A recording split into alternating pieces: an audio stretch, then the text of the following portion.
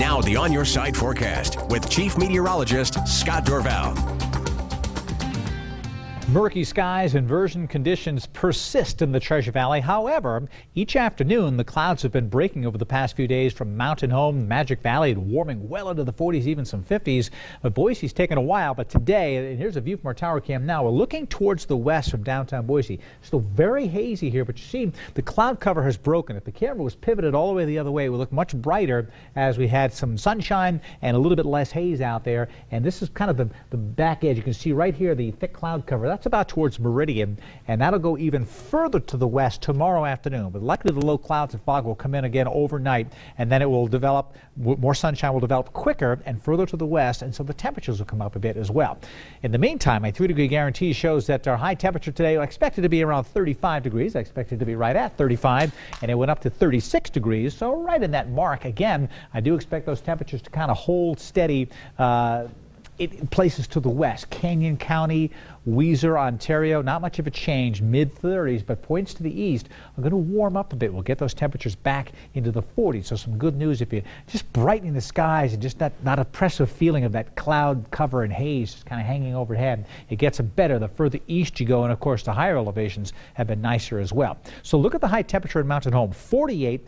Magic Valley today, Twin Falls for a brief period of time hit 55 degrees today, a sign there's some warm air around. Now we're going to get a cold front to come through Thursday, and so this number will come down, but these numbers here will come back up. We'll get more balance in the Treasure and Magic Valleys as the air gets stirred up a little bit. But in the meantime, we have a chance of some snow showers coming in during the day on Thursday. Meantime, 41 in McCall while it was 36 in Boise, 43 in Stanley. You can see the inversion in place. A little light, light rain is now falling in Baker City. We had a trace of rain, and that's tracking towards the east. So McCall is likely to see a chance of some snow showers because it's cold enough there for some snow. I want to recap January for you to let you know just how cold it really was. If you've been wondering these numbers, I've got some for you here.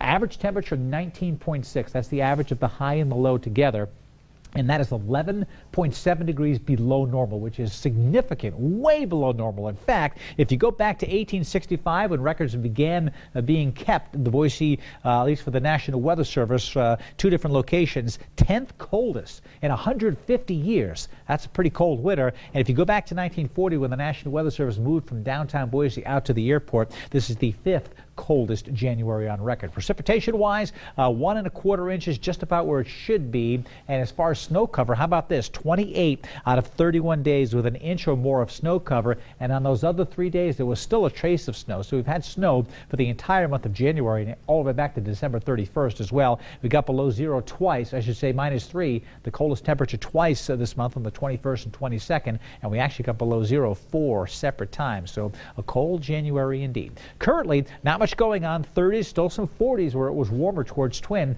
But notice these little little areas of blue showing up. Some sprinkles of rain pushed through Baker City, and we'll probably get some snow showers pushing through uh, the McCall area overnight tonight. Latest radar sweeps bringing in those latest echoes right here. The Boise radar showing these light snow showers moving through the Wallowa Mountains. Also tracking to the McCall area tonight, so maybe a dusting of snow as those continue to move to the northeast. There's not much to these, so not expecting any big storms. Although Thursday, a little bit more impressive of a storm system is developing. So some cloud cloud cover above the inversions kind of building towards the Magic Valley. Got rid of their sunshine today. More snow up around the Panhandle near Spokane and rain near Seattle. But it is further to the west where all the activity is. There's three storms, one here, here, and here. And these storm systems are kind of rotating around themselves. So on Thursday, this moisture will move through. The storm system will follow in right behind it. And that'll basically blow the inversion out of the Treasure Valley. We're going to get some sunshine. But as it comes through, we have a chance of some snow showers in the Treasure Valley. So we'll watch that closely. In fact, in the future cast, if we push this ahead to tomorrow afternoon. You see, tomorrow, or should say late tonight, the snow showers go by. Tomorrow afternoon, 3 o'clock, we're generally dry. Here's the next system comes in for Thursday, and it's not that impressive. It's kind of elongated. You see the chance for snow showers Thursday afternoon, but watch right down here, Thursday night, everything starts to stall. Some computers want to throw moisture back over us with some snow.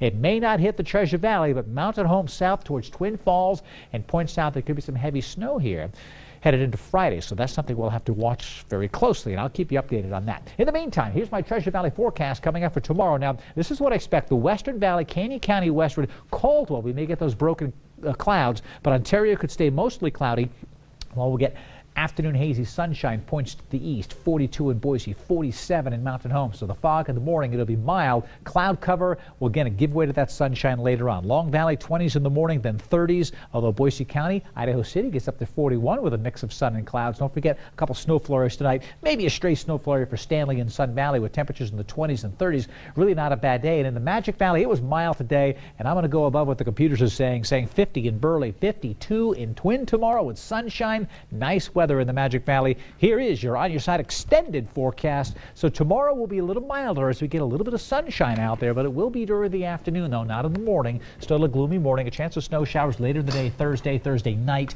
I think Friday will just be a, a breezy, chilly, refreshing day. 41. The sun is shining. Sky's actually blue. We're- Sorry. No, I was just gonna say, we're working our way through it. We are in the weekend. Nicer. Yeah. Really Uh, is. which is perfect timing. Absolutely. Thanks, Scott. Coming up on today's Six on Your Side.